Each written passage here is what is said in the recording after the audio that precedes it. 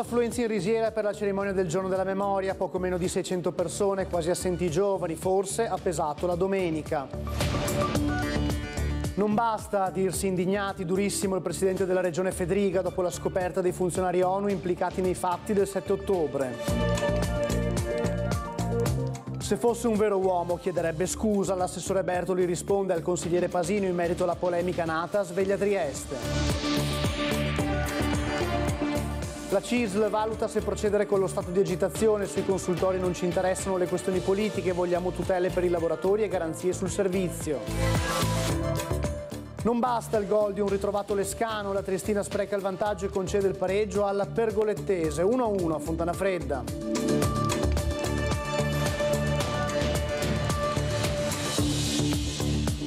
Buonasera bentrovati in una nuova edizione del telegiornale di Tele4. Si è celebrato questa mattina il giorno della memoria in Risiera, una cerimonia che si è svolta seguendo, seguendo il copione, forse un po' abusato che non ha attirato molte persone. La cronaca eh, della giornata, della giornata della memoria raccontata da Umberto Bosazzi. Il sole ha fatto capolino squarciando la nebbia nel momento in cui il rabbino capo Alexander Meloni ha intonato la preghiera ebraica in risiera, quello che è il momento forse più significativo della cerimonia del giorno della memoria. Una cerimonia che oggi si è svolta secondo un copione ormai consueto fin troppo sotto certi aspetti. Alla deposizione della corona da parte del prefetto, del sindaco e del presidente della regione, seguita da altre, ha risposto la sfilata dei gonfaloni. Quindi il discorso del sindaco di piazza che ha sottolineato il valore del giorno della memoria anche per le nuove generazioni che però in ratto della pileria oggi non c'erano, seguito da quello del sindaco di Monrupino in rappresentanza del territorio.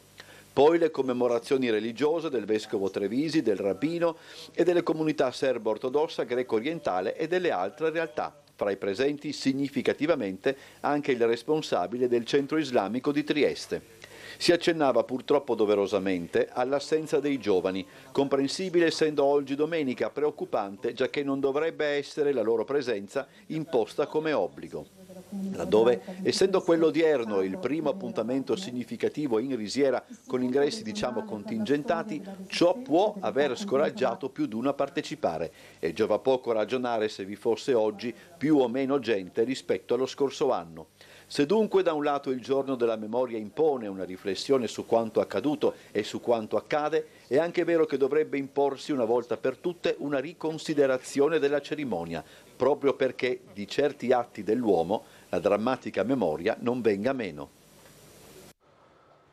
Mai come quest'anno i temi al centro del giorno della memoria trovano riscontro nell'attualità, in tal senso sono improntati i commenti che abbiamo raccolto a margine della cerimonia, tra cui quello di Massimiliano Federica, il presidente del Friuli Venezia Giulia, durissimo con la sua presa di posizione dopo la scoperta dei funzionari ONU implicati nei fatti del 7 ottobre. Vediamo.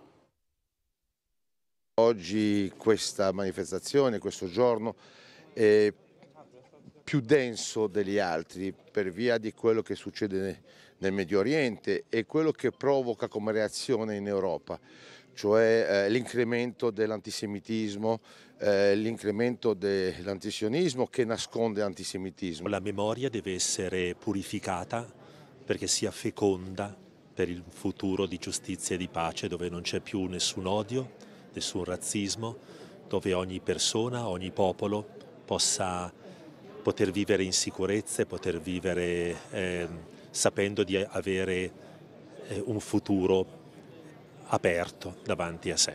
Perché un giorno diciamo che ci deve tenere attenti anche su, sul futuro, no? che non avvenga più atrocità, non avvenga più violenze. Purtroppo quello che sta succedendo adesso un po' diciamo eh, lascia, lascia, perplessi insomma no? eh, è da, da, rivedere un po' i nostri pensieri, la nostra umanità. È uscito anche un ultimo, un ultimo dato eh, sulla popolazione musulmana in Francia e dei giovani e soprattutto dei giovani al di sotto dei 30 anni che a 62% inneggiano alla distruzione dello Stato Israele che non deve esistere. E questo mi interroga profondamente su eh, eh, sulla possibilità non, siamo, non, dobbiamo essere drammatici per la possibilità per il popolo ebraico e per gli ebrei di rimanere in Europa. Le 50 guerre in giro per il mondo, la guerra in Israele, la guerra in Ucraina, veramente questo, questo mondo non sa, non sa veramente affrontare le cose. Pensate voi cosa spendiamo di armamenti, non so, è una follia, potremmo mettere a posto il mondo e invece continuiamo a sparare, a sparare, a sparare, veramente non abbiamo imparato nulla. Eh, quanto sta avvenendo all'interno delle Nazioni Unite con l'agenzia presente in Palestina è un fatto gravissimo, scoperto oltretutto da un'organizzazione indipendente eh, UN Watch che se non avesse denunciato i fatti nessuno si sarebbe accorto di niente. Eh, milioni e milioni e milioni di euro che arrivano dall'Occidente che hanno finanziato un'agenzia delle Nazioni Unite dove al proprio interno ci sono dei terroristi e chi ha festeggiato la mattanza del 7 ottobre. È qualcosa di inaccettabile, ci devono essere delle responsabilità, non basta, come ha fatto il segretario generale delle Nazioni Unite, eh, dichiararsi inorridito. Altri commenti della politica per quanto riguarda la giornata della memoria. La risiera di San Sabba rappresenta non solo un luogo di memoria e di lutto, ma anche un solenne monito per l'umanità intera. Qui, dove la storia ha lasciato il segno più doloroso, siamo chiamati a riflettere sulla fragilità dei diritti umani e sulla necessità di proteggerli con vigore e determinazione. Lo ha detto la sottosegretaria all'economia e finanze e coordinatrice di Forza Italia Friuli Venezia Giulia, Sandra Savino. La Shoah è una tragedia terribile che non passa e non può passare, per questo siamo qui non soltanto per ricordare, ma per rinnovare tutti i giorni quella tragedia per far sì che non accada più. Lo ha dichiarato la deputata Deborah Serracchiani oggi alla risiera di San Sabba. L'olocausto è un dramma che nessuno può assimilare ad altri orrori perché la Shoah non ha precedenti nella storia. Omologare la difesa del popolo di Israele a fronte degli attacchi del 7 ottobre all'eccidio programmato dai nazisti di milioni di ebrei è imparagonabile ed è fondamentale essere presenti a queste celebrazioni per difendere la verità. Lo ha detto oggi a Gorizia l'assessore al patrimonio del Friuli Venezia Giulia Sebastiano Callari. E poi ancora Trieste al drammatico privilegio di conservare l'unica testimonianza in Italia nell'inferno concentrazionario nazifascista. Siamo qui presenti in un lager a rendere onore alle vittime, alle loro famiglie, alle comunità colpite dall'odio antisemita e alla furia razzista. È la riflessione della segretaria regionale del Partito Democratico del Friuli Venezia Giulia, Caterina Conti, oggi a Trieste per la cerimonia appunto della giornata della memoria alla risiera di San Sabba. Parlavamo quindi degli ingressi, degli ingressi per la risiera, eh, ingressi che erano eh, previsti fino a un massimo di 2.200 persone, pubblico e autorità, eh, e autorità, comprese, è andato tutto liscio, nessuna turbativa all'esterno eh, della risiera come si eh, preventivava secondo alcune fonti delle forze dell'ordine. Vediamo il servizio. Circa 560 persone sono entrate nella risiera di San Sabba per assistere alla cerimonia della giornata della memoria. 1825 i posti disponibili, 2200 la capienza massima, considerando anche le autorità e per così dire gli addetti ai lavori come la stampa. Gli ingressi tra il pubblico sono grossomodo in linea con gli anni precedenti, in realtà un po' meno, ma bisogna considerare il fatto che, essendo domenica, mancavano i ragazzi delle scuole. C'è da dire invece che è andato tutto liscio, contrariamente alle aspettative. Non ci sono sono state manifestazioni di protesta, leggi movimenti pro-Palestina o il pericolo di frange anarchiche, né altre turbative. Tutto ciò ha facilitato sicuramente il lavoro delle forze dell'ordine presenti e del personale che controllava gli ingressi. Le persone sono entrate in risiera dalle 10.30 circa e gli ingressi sono continuati anche in corso di cerimonia dopo le 11. Nessuna fila si è formata, il pubblico giungeva in maniera incostante a piccoli gruppi alla volta, mentre polizia, guardia di finanza e carabinieri presidiavano gli all'ingresso dell'ex lager nazista, la polizia locale gestiva la viabilità. Piccole code si sono formate prima della rotonda di via Valmaura, ma non si sono registrati disagi al traffico. Due persone sono rimaste leggermente intossicate a seguito, come vedete, di un principio di incendio nel rione di Valmaura in strada vecchia eh, per, l'Istria, presso una palazzina. Una segnalazione giunta poco prima delle 14 per un episodio avvenuto eh, in luogo. Pare che una cucina abbia iniziato a prendere eh, fuoco sul posto i sanitari del 118 anche appunto per accogliere in ambulanza le persone portate poi in ospedale per l'intossicazione in codice giallo e codice verde, quindi per fortuna non sono gradi. Sul posto ovviamente i vigili del fuoco che hanno operato per mettere in sicurezza l'area e prestare i primi eh, soccorsi. Ancora ignote le cause di questo incendio, si presume un, eh, un incidente. Se fosse, se fosse, un vero uomo chiederebbe scusa. L'assessore al bilancio Everest Bertoli eh, ha risposto così al consigliere comunale Pasino in merito alla polemica nata a Sveglia Trieste. Nella puntata di Ring Bertoli ha portato anche dei documenti che raccontano la sua storia tra Albania e Italia. Lo ha intervistato il vice direttore Ferdinando Avarino. Vediamo appunto l'estratto da Ring. Cosa è successo? Se Pasino vuole fare il mio biografo, guarda, gli ho portato i documenti anche anche, anche abbastanza interessanti. Questo è? Beh, un articolo di un giornale insomma, del 20 febbraio 1992 di questa città che pare comincia a svelare una storia. Tornano 85 triestini d'Albania, sono stati dimenticati e perseguitati per 47 anni. Roma denuncia, le regioni ostacolano il rientro. Qui c'è un elenco e c'è anche Bertoli Clemente suo padre, nato l'11 febbraio 1943, è dichiarata l'esistenza dello stato di necessità al rimpatrio dall'Albania dei cittadini ivi residenti con decorrenza 1 gennaio 1992. Cioè lì, tornate qui perché tor- non potete, non potete eh. più restare. Lì mm. cominciò un lavoro eccezionale fatto di, mm. dall'ambasciata italiana in Albania che andò città per città e in due o tre mesi completò il censimento di quelli che erano rimasti, anche dei discendenti, di cittadini italiani e naturalmente la mia famiglia scelse la città dove ho avuto origine, dove è nato mio nonno, dove è nato mio bisnonno, cioè dove mio padre, padre, è stato concepito, Trieste. Questa è la storia, ecco perché dico che il film che si è fatto in testa... Cioè quando dice l'assessore albanese è una cosa guardate, è sbagliata, per... cosa vuol dire? Eh, è, è, assolutamente, assolutamente falsa. E sa cosa mi aspetto da Pasino? Guarda, se... Scuse, cosa si aspetta da Pasino? Guarda, mi aspetto semplicemente una cosa, se fosse un vero uomo, viene qua e si scusa pubblicamente perché ha detto sul sottoscritto, sulla vita privata, sulle mie origini, un sacco di fesserie. Di, ha dato un sacco di notizie non vere. Penso che questo insomma è evidente a tutti. Ahimè, molto probabilmente non lo farà, lo farà, non lo so, scelga lui. Ripeto, io non perderò più tempo eh, eh, Però perso- si è sentito ferito, no? Ferito un po'. Dire, no, eh, posso anche capire che a dicembre magari era scosso dalla lunga notata, lunga notata del, del, bilancio. Tornare eh, gratuitamente e soprattutto, con, ma anche perché poi questo ha dato, ha dato anche su, eh, su, Facebook poi la stura ad altre ad altri comportamenti, alquanto posso dire c'è la signora che dice io pretendo di chiamarlo albanese perché hai pagato con le mie tasse, chiamatemi come volete.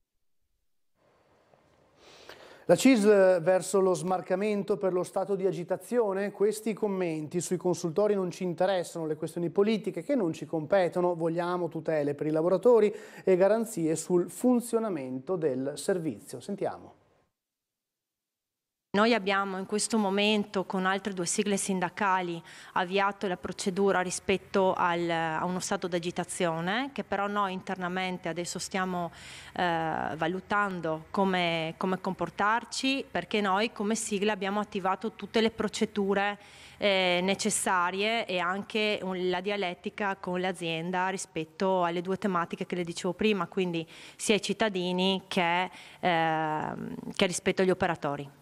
La CISL valuta se procedere con lo stato di agitazione votato assieme a FIALS e CGL nella riunione con il personale dei consultori lunedì scorso, ma rimarca come in primis bisogna tutelare il lavoro degli operatori e del servizio. Non vogliamo entrare in questioni politiche, ci interessa invece che il sistema funzioni al meglio con tempestive comunicazioni alla cittadinanza e agli operatori del settore. Questo è il senso del messaggio. Noi eh, non ci esprimiamo sulla parte né politica né organizzativa aziendale perché non ci compete. Quello che è per per noi importante è che gli operatori del servizio abbiano eh, le tutele necessarie e soprattutto che ci siano i servizi garantiti per l'utenza e i cittadini, che gli operatori siano sufficienti eh, per garantire la modalità oraria che in questo momento Asugi propone e soprattutto che questo cambio di sede sia in qualche modo accompagnato dall'amministrazione e che, che sia stato comunicato in maniera tempestiva all'utenza. Perché questo? Perché chiaramente il cambio di sede ha implicato degli spostamenti di appuntamento o degli appuntamenti anche con altri servizi come per esempio il comune e quindi era importante che l'utenza venisse, venisse informata di questo. Il 2023 è stato un anno difficile dopo aver garantito che i ragazzi potessero andare a scuola e che i poliambulatori fossero aperti. Ora l'obiettivo è eh, è che la casa di riposo in cui stanno completando i lavori possa raccogliere le persone che sono state temporaneamente ospitate in altre sedi e che i prossimi mesi eh, vedano arrivare i ristori. Lo ha affermato l'assessore regionale alla salute Riccardi alla comunità di Mortegliano, duramente colpita dagli eventi atmosferici lo scorso anno, intervenendo alla festa eh, patronale di eh, San Paolo. Paolo. Nell'occasione Riccardi, eh, sottolineando la compostezza e il senso di resilienza con cui Mortegliano si è rialzata, ha auspicato che i ristori che proverranno dal governo siano adeguati alle necessità. Per parte sua la Regione ha fatto il possibile stanziando una cifra senza precedenti di oltre 150 milioni di euro per le prime emergenze e sono certo, ha concluso Riccardi nella nota, che il 2024 sarà l'anno dei ristori. Siamo allo sport, siamo allo sport, la Triestina ha eh, pareggiato 1-1 contro la eh, Pergolettese, passando prima in vantaggio con un gol di un ritrovato Lescano, ma eh, subendo il eh, pareggio poco dopo. Entrambi i gol sono arrivati nel eh, secondo tempo. Ecco la cronaca eh, del match, o meglio, gli highlights. La Trestina spreca il vantaggio, arrivato con il gol di un ritrovato Lescano e concede il pareggio alla Pergolettese. È la terza partita consecutiva in casa in cui la squadra di Tesser manca la vittoria. Entrambi i gol sono arrivati nel secondo tempo. Dopo aver immagazzinato punti a suon di vittoria, ecco che, come fisiologico che sia in questo momento dell'anno, la squadra conferma il momento altalenante. D'altronde la tensione e la freschezza non possono essere mantenute costanti per tutta la stagione. Stessa formazione di Vercelli per l'Unione, Agostino fra i pali in difesa germana Germano, Struna, Moretti e Petrasso, a centrocampo Celeghin, Correia, Vallocchi ed Urso, Vertainen nell'Escano, la coppia d'attacco. Già al quarto minuto l'Escano fa scendere un brivido sulla schiena degli avversari, ma il tiro su punizione accarezza l'esterno della rete. Sette minuti dopo l'attaccante ci riprova e sulla respinta della difesa la palla arriva a Celeghin che però non riesce a inquadrare la porta. Partita che pare equilibrata con la Triestina che attacca e la Pergolettese che tiene. Al trentunesimo Vertainen riceve la palla a destra vicino alla linea dell'area, si infila tra i difensori e calcia di esterno ma non riesce a indirizzare il pallone in porta.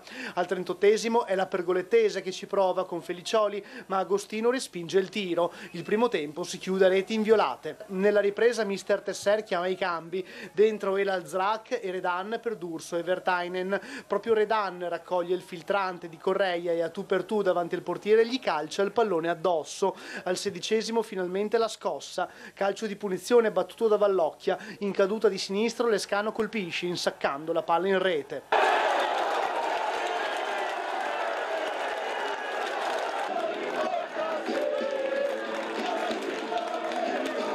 Al ventiduesimo la pergolettese si fa rivedere in avanti. Bariti, imitando un più noto Quaresma, spara la trivela verso Agostino, ma l'esecuzione è più bella che efficace. Nessun problema per il portiere alabardato. Al ventottesimo però ecco il pareggio degli avversari, cross di Bariti e colpo di testa di Giawari.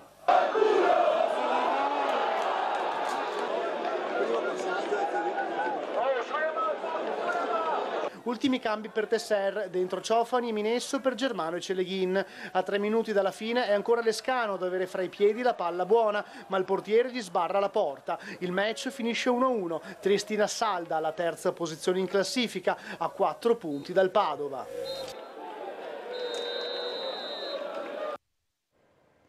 Uno sguardo anche alla pallacanestro, non ci sono buone notizie per la pallacanestro Trieste, perde 76-90 eh, proprio al eh, palazzetto contro Rimini. Ecco il titolo che scelgono i colleghi di eh, City Sport, Trieste sbiadita da far paura, Rimini giganteggia a eh, Valmaura. Questa appunto la riflessione anche eh, del quotidiano online, la vittoria con Chiusi era stata una mera illusione, Rimini passa a Valmaura riporta nuovamente la parola crisi in pallacanestro Trieste. Questa è insomma l'analisi nell'articolo di Alessandro Asta di City Sport. Andiamo però a parlare invece anche di buone notizie per quanto concerne il, lo sport italiano. Leggenda Sinner in Australia vince il suo primo slam e trionfo a Melbourne, Medvedev battuto in rimonta 3 a 2, 48 anni fa era di Panatta l'ultimo trionfo azzurro, arriva anche, arriva anche la, il commento ovviamente positivo del primo ministro, della premier Giorgia Meloni, eh, che così, così annota, scrive ovviamente inteso Sinner, una pagina di storia che ci rende eh, orgogliosi. Questa è la bella notizia sportiva per tutta l'Italia per un campione ovviamente come, eh, come Sinner. Prima di salutarci diamo un rapido sguardo anche alla pagina meteo attraverso il sito dell'Osmer, come potete vedere continua il bel tempo ma anche i banchi di nebbia sulla fascia costiera come era stamattina un cielo sereno pressoché su tutta la regione, sulla bassa pianura e costa probabile appunto la presenza di foschie e nebbie, specie nelle ore notturne, temperature minime tra gli 0 e i 5 gradi le massime tra i 7 e i 9, il tempo per anche dopodomani, martedì 30 gennaio, sempre un cielo sereno poco nuvoloso, ma sempre presenza qui di banchi di nebbia sulla zona costiera e in pianura, le temperature invece rimangono invariate e eh, dello, stesso tipo anche, dello stesso tipo anche la previsione per eh, mercoledì e per giovedì. Al centro della settimana un cielo sereno con qualche nuvolosità maggiore per quanto riguarda la giornata di mercoledì e sempre la presenza di banchi di nebbia o foschie sulle zone pianeggianti e eh, sulla pianura scusate, e eh, sulla fascia costiera. È tutto dal telegiornale di Tele4 di questa sera, grazie per averci seguito, vi lascio sempre a eh, Michot e vi rimando per le notizie ovviamente a Sveglia Trieste domani mattina dalle ore eh, 7, naturalmente i telegiornali di Tele4 delle 13.20 e delle 19.30. Buona serata.